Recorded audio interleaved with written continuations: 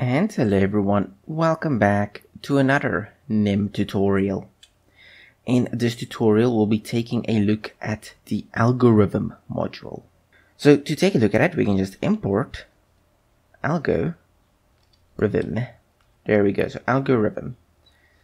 And let's create three variables. A, which is an array for, of 6 and type int. B, which is an array of 5, but it has values. So let's go 5, 1, 8, 9, 7. And then C, which is the same as B. So we can fill this array with a couple of values. So let's go a.fill. So this will use the algorithm's fill module to fill this array with a specific value we choose. So at index 1, so this is the index, at index 1 for two spaces, fill it with the value of 9. That is what we are saying here. So now if we run this, at index 1, for two spaces, fill it with the value of 9. If you wanted to, you don't need to specify these and you can just say 9. And now all of these values will be changed to 9. So there we go. Let's take a look at B and we can actually reverse B. B dot reverse. But we only want to reverse 1, 8, and 9. We don't want to reverse the entire array, only 1, 8, and 9.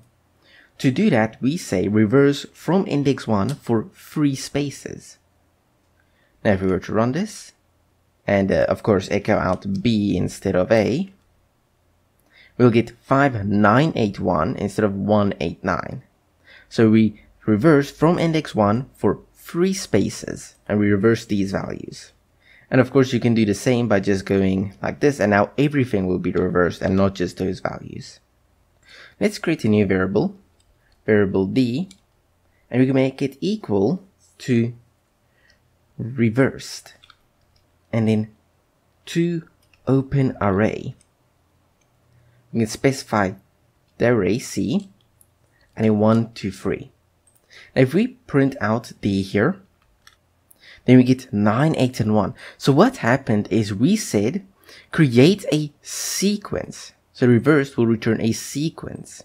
And take these 1, 8, and 9 here, reverse them, and then make them this new sequence.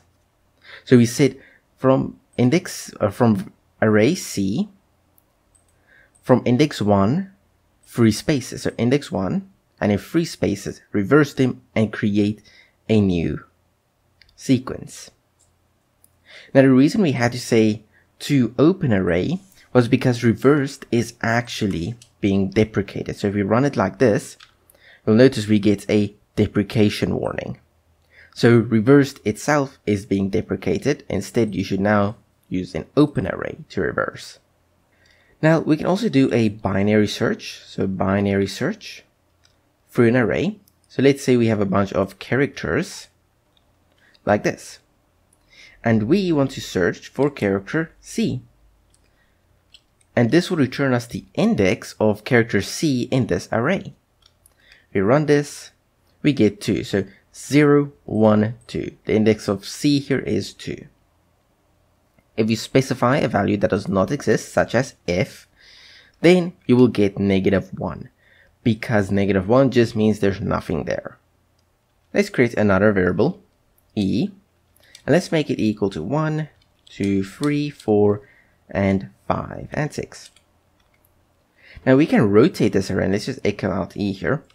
We can rotate this array by going e dot rotate left 0 to the length of e minus 1, 1. So what we said here is rotate the whole array to the left. So from index 0 to the last index by one value. So from index 0 to the last index in the array by 1. So now we'll rotate to the left and 2 will be here at the first index, or this, yeah, the first index, and 6 will be here at the second last index and 1 will be at the last index. So if we run this, the array would have been rotated, so 2 is first and 1 is now there, and it's just rotated once. And of course you can use this to say how many spaces, or if you wanted, you can make it 2 spaces instead of 1. So now 1 and 2 is here at the back, and it starts here at 3. And that is that for the algorithm module. Thank you all for watching. I hope you all enjoyed, and I will see you all again in the next NIM tutorial.